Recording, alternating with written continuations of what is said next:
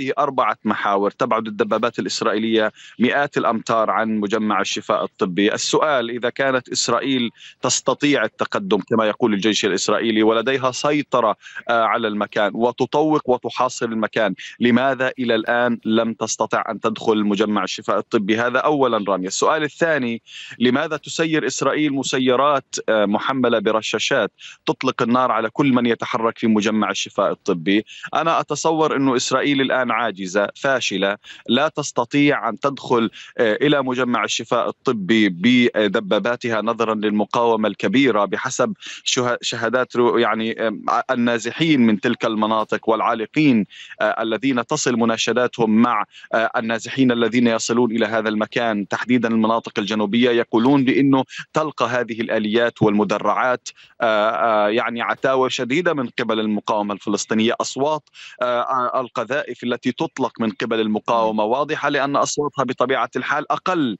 من أصوات القذائف المدفعية التي تنطلق بشكل عشوائي فضلا عن رشاشات الدبابات الثقيلة التي تطلق بشكل عشوائي وذلك تزامنا مع عمليات الاشتباك التي تخوضها المقاومة الفلسطينية من مسافات قريبة من فوق الركام ومن أسفل الركام الذي طبعا أحدثته آلة الدمار الإسرائيلية. أشير فقط أيضا إلى أنه معظم الآليات الإسرائيلية التي دخلت جرفت ما في طريقها بمعنى أن إسرائيل اتبعت سياسة الأرض المحروقة.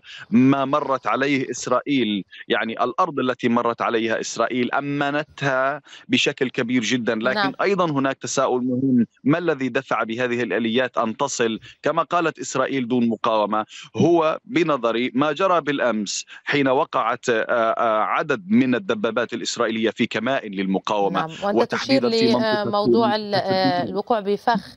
نشير للعاجل على شاشة الميادين أيضا. أكسيوس عن مصدر إسرائيلي. جالنت أبلغ أوستن أن السياسة الإسرائيلية تقضي بعدم فتح جبهة ثانية في لبنان.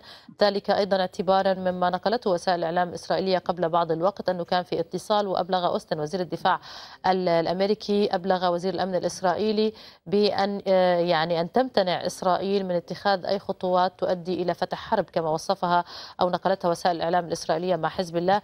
وأنت تشير بالعودة إليك زميلنا أحمد غانم إلى أنه في استراتيجية وتكتيك خاص بالمقاومة لإيقاع هذه القوات المتوغلة بالفخ. ونحن نشاهد يعني نوع من الاستعصاء العسكري من أي إنجاز بالنسبة لتلك القوات.